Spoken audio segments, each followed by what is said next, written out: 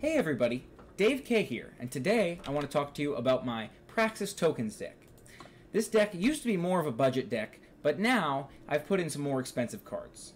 In order to make this more of a budget deck, take out the Teacher of Humility and replace it with the Amber Acolyte, and take out some Marian Stingers and add other cards that will help you gain power. One of the stronger components of this deck is the ability to play multiple Xenan Obelisks. If you can play multiple Xenan Obelisks with 8 or more maximum power, you can really buff your less expensive units.